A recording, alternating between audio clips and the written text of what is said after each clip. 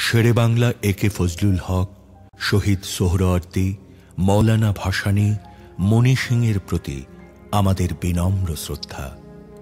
আমরা গভীর শ্রদ্ধা জানাই হাজার বছরের শ্রেষ্ঠ বাঙালি, জাতির পিতা বঙ্গবন্ধু শেখ মুজিবুর রহমানকে। আমরা শ্রদ্ধা জানাই প্রবাসী সরকারের প্রধানমন্ত্রী তাজউদ্দিন আহমদকে। আমরা শ্রদ্ধা জানাই একাত্তর পূর্ব ছাত্র নেতাদের, যারা বান্ন, বাষট্টি, ছেষট্টি, ঊনসত্তরে গণ আন্দোলনের সৃষ্টি করে বাঙালি জাতির স্বাধীনতা ও মুক্তির সংগ্রামে বঙ্গবন্ধুর পাশে ছিলেন। আমাদের বিনম্র শ্রদ্ধা রইল তিরিশ লাখ শহীদ ও পাঁচ লক্ষ নির্যাতিত মা বোনের প্রতি। আমরা শ্রদ্ধা জানাই বীর মুক্তিযোদ্ধাদের যারা স্বাধীন বাংলাদেশ সৃষ্টি করতে শহীদ হয়েছেন। আমরা শ্রদ্ধা জানাই লক্ষ লক্ষ মুক্তিযোদ্ধাকে যাদের বীরত্বের কারণে আমরা স্বাধীন বাংলাদেশ সৃষ্টি করতে পেরেছি। আমাদের গভীর শ্রদ্ধা রইল একাত্তর সালের সেই জনগোষ্ঠীর প্রতি, যারা সীমাহীন কষ্ট ও নির্যাতন ভোগ করে মুক্তিযুদ্ধের প্রতি অনুগত থেকে মুক্তিযোদ্ধাদের সর্বাত্মক সহযোগিতা দিয়ে স্বাধীন বাংলাদেশ সৃষ্টিতে ভূমিকা রেখেছেন। এদের সবার কাছে আমরা ঋণী।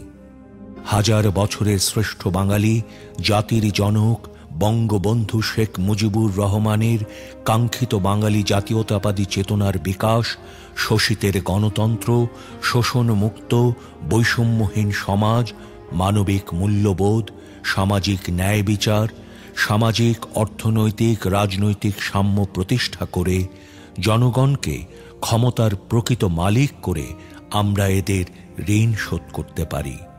আসুন, আমরা আমাদের পূর্বসূরীদের ত্যাগকে স্মরণ করে তাদের নির্দেশিত পথে দেশকে এগিয়ে নিই।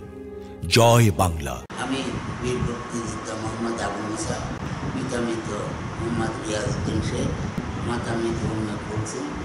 গ্রাম বীরগুলা ডাকঘর আদাইগুলা উপজেলা সাঁতিয়া জেলা পাবনা। উনিশশো একাত্তরে যখন যুদ্ধ শুরু হয় তখন আমি ছাত্র। তখন আমি ক্লাস টেনে পরীক্ষার্থী।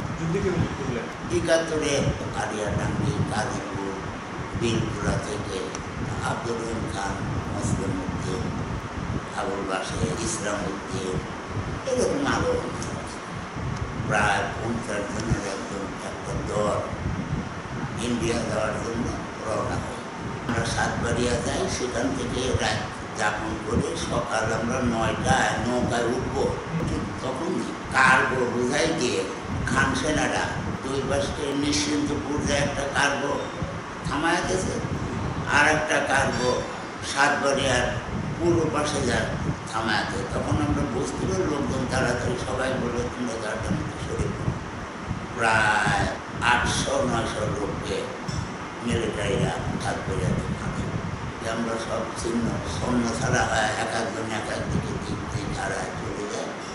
যাওয়ার পরে মুজিব বাহিনী আব্দুল লতিফ আফতাবুদ্দিন তাদের গ্রুপ সরাসরি আমাদের গ্রামে চলে আসে গাজীপুর গাজীপুর চলে আসলে আমরা আবার যাওয়ার জন্য ওনারা বললে যে না, আর মুক্তিযুদ্ধে যারা অংশগ্রহণ করবে তাদেরকে এখানে মুজিব বাহিনী তাদেরকে ট্রেনিং দেবে এবং ট্রেনিং দিয়ে তারা যুদ্ধে যুদ্ধে যাবে তারপরে আমাদেরকে গাজীপুরে ট্রেনিং হতো, বীরপুরা রাস্তার উপরে ট্রেনিং হতো, বর্ষা, বর্ষার সময় কিছু বাড়ির উপরে ট্রেনিং ট্রেনিং দেওয়ার পর আমরা যুদ্ধে করে যাই। অক্টোবরের প্রথম দিকে আমরা সাঁতিয়া থানা আক্রমণ করি। সেখানে আমাদের ওই গ্রুপের সাথে রফিকুল ভাই মুকুল মুকুল সাহেবের গ্রুপ ছিল ফরিদপুর থেকে আর একটা গ্রুপ ছিল ইকবাল ভাইয়ের গ্রুপ ছিল। আক্রমণ করার পর সেখান থেকে আমরা সাঁতিয়া থানা উদ্ধার করে। ছয়জন রাজাকারকে জীবিত অ্যারেস্ট করে ধরে নিয়ে যাওয়ার পরে তাদের কাছে জিজ্ঞাসাবাদ করে যেটা করার আমরা সেটা সম্পন্ন এরই মধ্যে আমরা বারোয়ানি গ্রামে আসি সেদিনকে। বেলা দশটা, নয়টা, দশটা বাজে কোনো বাড়িতে রান্না হয়েছে, কোনো বাড়িতে হয়নি। এর মধ্যে বুধবার মিলিটারি আসতেছে। কোন দিক থেকে আসতেছে? ড্যামরা হয়ে আমরা তখন মুক্তিযোদ্ধারা বের হলাম। অস্ত্র শস্ত্র যখনই বের হয়, দেখি যে মিলিটারি আসছে আমরা ওখানে এই রাস্তার হাতাগুড়া হয়তো ড্যামরা রোডে মাঝে বারোহানির ওখানে রাস্তাটা ভাঙা, আমরা ভাঙা। মুক্তিযোদ্ধারা পজিশন নিলাম পজিশন নেওয়ার পর যে দালাল, অন্তত পাঁচশো গজ আগে ওই দালাল, এক এক আসতেছে, আর পাঁচশো গজ দূরে হচ্ছে মিলিটারি আছে পিছনে দালাল আসে দেখছে মুক্তিযোদ্ধা, অমনি দালাল ব্যাগ খান সেনাটা পিছিয়ে চলে যায়। পিছিয়ে চলে যায়, আমরা পিছিয়ে পিছিয়ে ড্যামরা হয় ড্যামরার যে ঘাট আছে বড়ার ব্রিজ বড়ার নদী হয় ফরিদপুর থানার মধ্যে কালিয়ান নামে একটা গ্রাম আছে। সেই গ্রামে মিলিটারি রাজা পজিশন পজিশন নিয়ে আমরা ড্যামরা ঘাট পার হয় চলে যাই।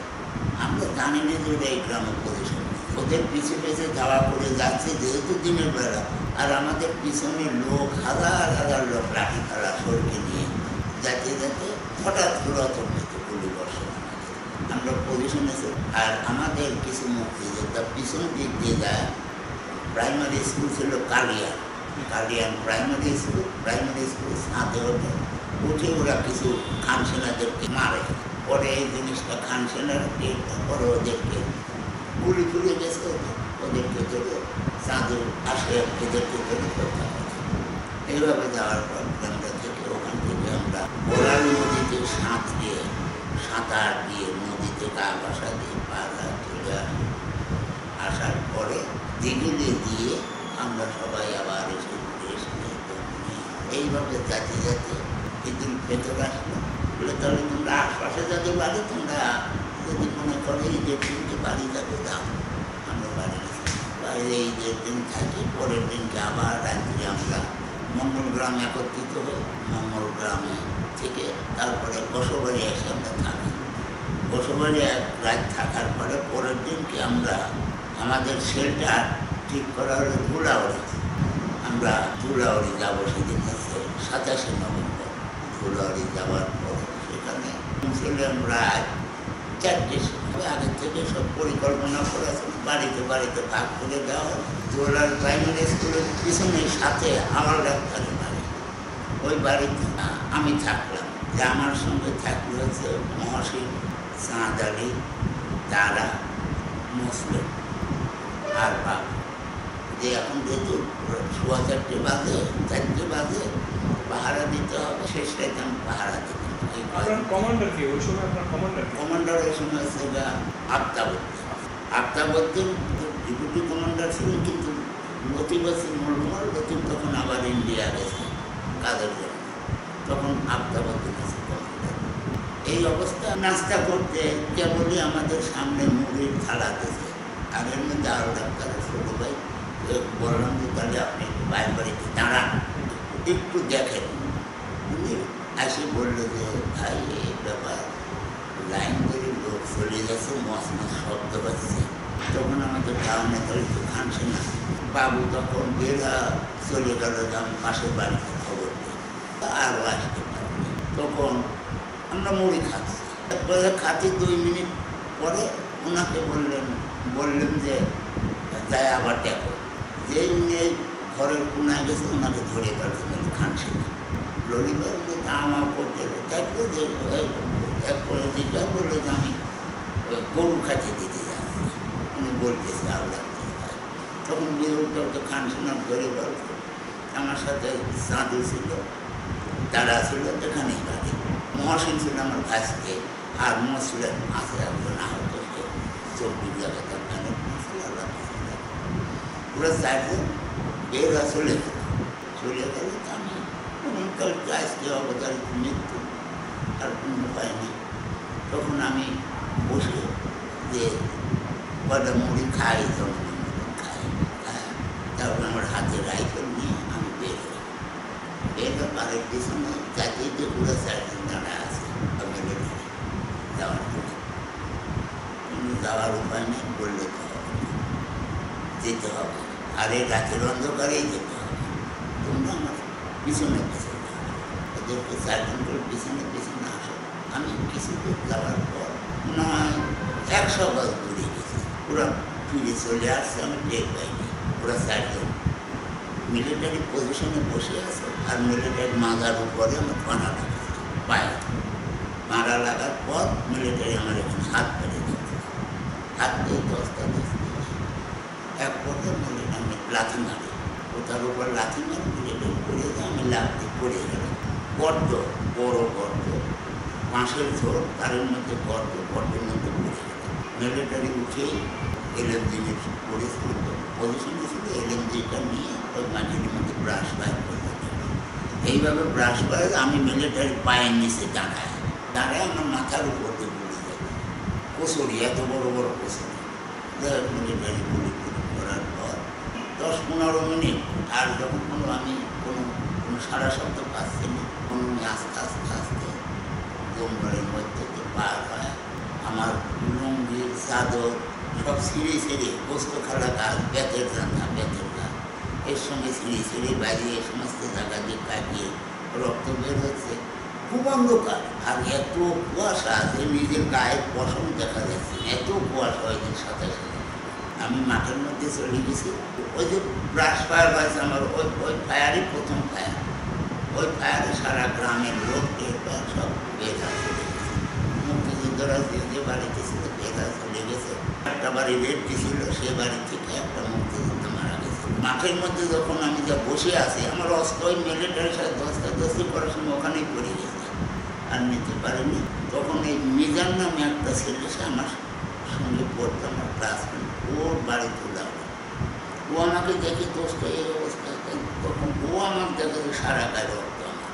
মানে বেতের কাঁটা, কাঁটার, শিশির কাঁটা আমার সারা গাও থাকে ও আমাকে সাথে করে নিয়ে চলে যায় দিগুলি দিগুলি যা সেখানে ডাক্তারটা আমাকে ইঞ্জেকশন দেয়, লোকজন দিয়ে সমস্ত কাঁটা খোলে আমার গায়ে থেকে খুলে খুলে পরিষ্কার করে তারপরে দুপুর পরে চলে আসে। আবার ধুলারে ফিরে আসে আমাদের যুদ্ধকালীন কমান্ডার নিজাম ভাই বসে আছে। যা দেখে আমার ভাইসকে মহাসিনীর লাশ পড়ে আছে। তার ওই পাশে দেখি আর তারা এখানে এই আমার সাথে থাকে। তারপরে শাহজাহান এরা এইবার নয়জন কবিরুদ্দিন বনুগ্রাম বাড়ি ওনাকে পুরাইছিল ঘরের চালে উঠে ব্রাশ মারছিল ঘরে আগুন পুড়ে গেছিল। মুসলিমকে বাইরের জায়গা প্যানিক চার্জ করে, গলাটা কাটেছিল না মনে করছে মারা গেছে পেলে চলে মুসলিমকে পরে আমাদের লোকজন নিয়ে চিকিৎসা। বাড়ি আসলাম, বললে তো কমান্ডার বললে তো বাড়ি যাও। দুই দিন পরে বাড়ি আসার পরে ইয়ে আমি জিজ্ঞাসা করে কী অবস্থা সবাই বেঁচে মারা গেছে বলতেছে, সাতই ডিসেম্বর, আবার আমরা সাঁতিয়া থানা। নয় ডিসেম্বর সাঁতিয়া থানা স্বাধীন হয়ে যায়। মানে সংক্ষিপ্তভাবে যতটুকু আমি বললাম। তিরিশ লক্ষ শহীদ ও পাঁচ লক্ষ নির্যাতিত মা বোনের সম্ভ্রমের বিনিময়ে আমরা স্বাধীন। লক্ষ লক্ষ মুক্তিযোদ্ধা বীরত্বের সাথে যুদ্ধ করেছে বলে আমরা স্বাধীন। হাজার হাজার যোদ্ধা বীরত্বের সাথে যুদ্ধ করে শহীদ হয়েছে বলে আমরা স্বাধীন। কোটি কোটি লোক আমাদের সমর্থন করতে গিয়ে অবর্ণনীয় দুঃখ কষ্ট সয়েছে বলেই আমরা স্বাধীন। হাজার বছরের শ্রেষ্ঠ বাঙালি, জাতির জনক, বঙ্গবন্ধু শেখ মুজিবুর রহমানের কাঙ্ক্ষিত বাঙালি জাতীয়তাবাদী চেতনার বিকাশ, শোষিতের গণতন্ত্র, শোষণমুক্ত বৈষম্যহীন সমাজ, মানবিক মূল্যবোধ, সামাজিক ন্যায় বিচার, সামাজিক, অর্থনৈতিক, রাজনৈতিক সাম্য প্রতিষ্ঠা করে জনগণকে ক্ষমতার প্রকৃত মালিক করে আমরা এদের ঋণ শোধ করতে পারি। আসুন, আমরা আমাদের পূর্বসূরিদের ত্যাগকে স্মরণ করে তাদের নির্দেশিত পথে দেশকে এগিয়ে নেই। জয় বাংলা।